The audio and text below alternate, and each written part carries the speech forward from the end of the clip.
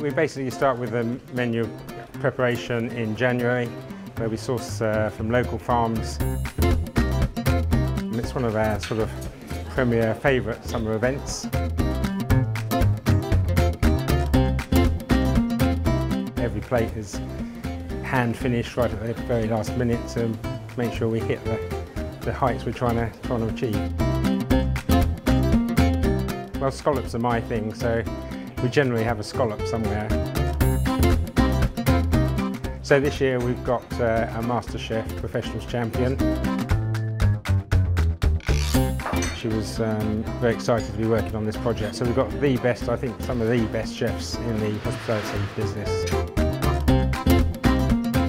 Interesting and innovative at the same time. So it's a challenge, but I think we seem to find something for everybody.